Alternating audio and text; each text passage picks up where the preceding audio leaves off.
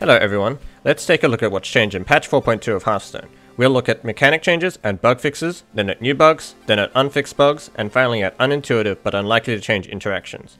So the video doesn't take forever, I'll focus only on common gameplay bugs and changes. First, mechanic changes. Mechanic change number 1. The secrets related to playing a minion, Mirror Entity, Sacred Trial, Snipe, and Repentance have had their card text changed to use after instead of when. This is a major clarity improvement, as these secrets trigger after the minion enters play and after its battle cry has resolved. For more information, check out our previous video, Battle Cries resolve after the minion enters play. Mechanic change number 2. The Lord Jaraxxus vs Sacred Trial interaction is finally fixed. Now Lord Jaraxxus dies a Sacred Trial if played onto a board of 3 or more minions, as intended. If you play Lord Jaraxxus onto a board of 2 or less minions, Sacred Trial will not trigger. This is intended as all the other secrets related to playing a minion trigger on Lord Jaraxxus the hero. Mechanic change number 3. The Enrage bug has finally been fixed. During patch 4.0 to 4.1, Enrage effects would not function if the minion's attack was direct set, such as by Crazed Alchemist or Aldor Peacekeeper, and the minion was later enraged. Now, they work fine.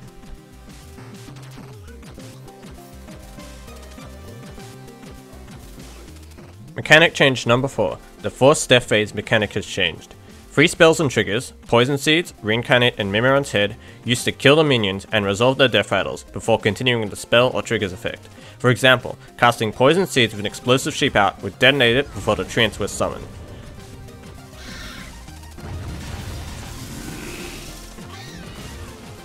But in patch 4.2, the explosive sheep's death rattle waits until the treants are summoned and kills them. Reincarnate has changed Shimmerlovin, Reincarnating an explosive sheep now additionally kills the new explosive sheep, giving you a 4 damage board clear.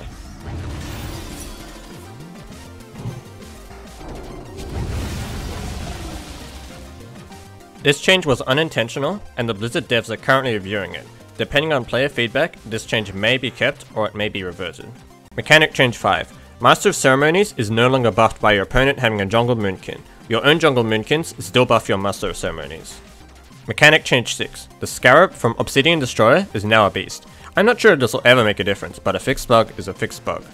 Now for some new bugs in patch 4.2. Bug 1. When your Mimiron's head triggers a summon Voltron, if one of the minions uses Clockwork Gnome or Mechanical Yeti, then the client will hang just as the transformation finishes. The client hanging means that it is waiting for an animation to finish that never will, while the game continues on the server, so you must disconnect and reconnect to continue playing. This bug is a side effect of the change to Force Death Phase timing.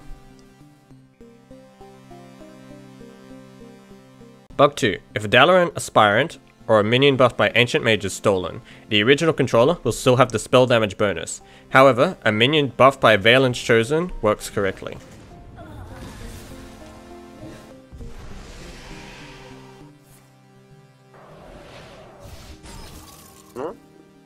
Let's demonstrate that a minion buffed by Velen's Chosen, then stolen, correctly transfers the spell damage bonus.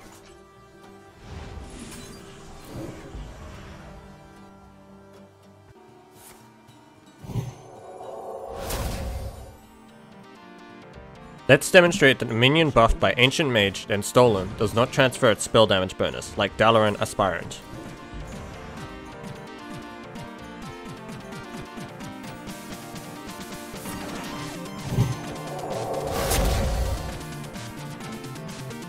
Bug free. If you have a minion buffed with Velen's Chosen and play a Master of Ceremonies, its battle cry won't activate.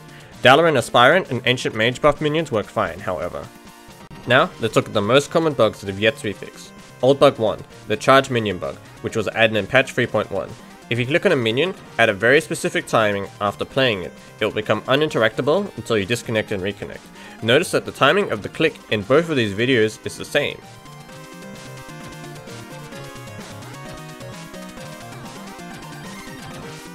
In fact, it doesn't even have to be a charge minion. If you interact with a newly played minion in any way, such as to use Fire Blast on an explosive sheep you just played, you can trigger the bug. Just wait an extra second, and this bug will never happen to you. Old bug 2, the floating card hang bug, which is as old as Hearthstone itself. Sometimes when your opponent uses a draw effect and immediately plays the drawn card, it will reveal what it is, but it will remain stuck. This is caused by seeing extremely specific timing, and since network latency, CPU speed, and the speed at which the server do updates affect what your opponent sees, it is impossible to deliberately exploit this on ladder. In fact, this bug is so rare that it has never once been reproduced on purpose, so no one knows exactly how the bug works. And just to be clear, this bug is not caused by your internet connection, it is caused by an animation hang. What is an animation hang? It means that the client is waiting for an animation to finish, the played card disappearing, but due to a bug in the client, it never will. Because disconnecting and reconnecting clears animations, it fixes the bug. If you want to help the bug be fixed, there are two things the Blizzard devs need to help reproduce and first fix the bug. 1.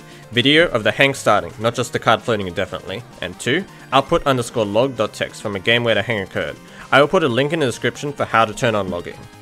Old bug free, the Entomb full board bug. If your board is full, Entomb will shuffle minions into your opponent's deck, not your own. This bug happens because Entomb is currently coded to steal a minion, then shuffle it into its controller's deck. Because your board is full, the steal fails and the minion dies instead. Then it is shuffled into your opponent's deck.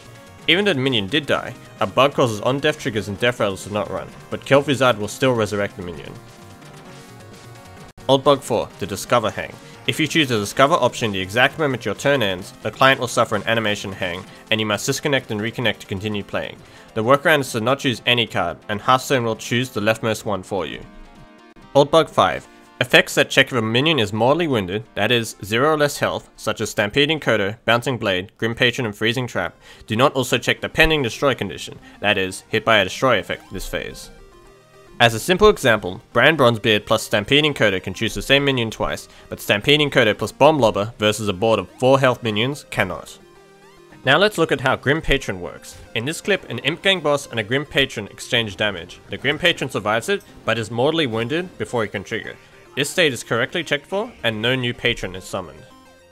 However, if you play Bouncing Blade on a board of Grim Patrons and Acid Maw, not only will Bouncing Blade continue to hit patrons that have been set pending destroy by Acid Maw's effect, but they will continue to spawn more patrons. This discrepancy between mortally wounded and pending destroy is the root cause of many bugs in Hearthstone. Now, let's take a look at some unintuitive interactions that are stated to be working as intended and may or may not change in the future. Interaction 1. The Mistcaller buffs minions as an on-draw trigger rather than buffing them in your deck. Disguised Toast has an excellent video on this if you're interested. Interaction 2. Using Entomb on an enemy minion will also entomb your own Djinni of Zephyrs. This interaction is because Djinni of Zephyrs checks its condition after the spell resolves. After Entomb resolves, its target is a friendly minion because it's in a friendly zone, your deck. Since the condition is satisfied, Djinni will trigger as well. Blizzard is aware that this interaction is unintuitive. I would change Djinni of Zephyrs card text to read, after you cast a spell, if it's targeting a friendly minion, cast a copy of it on this one, to make it 100% clear what it is doing. Interaction 3. Brann Bronzebeard plus Echoing Ooze does not create additional extra oozes. The technical reason for this interaction is because Echoing Ooze sets a tag on itself to 1, and setting a tag to 1 twice has no extra effect. Even though Blizzard says that this interaction is intended, it's clearly not intuitive. Maybe it'll fix this one eventually. Interaction 4. Nozdormu plus Curse of Rafaam causes your entire turn timer to be taken up by cursed animations. This interaction occurs because the server does not know about animation times. It is too computationally expensive to simulate them, and if the server asks the client how long they're lasting, a modified client could lie and get more time. However, there is a very easy workaround. Simply click on the cursed cards as they appear on screen. Clicking on cards like this dismisses them and ends the animations faster, giving you time back and letting you kill Nozdormu to end the combo.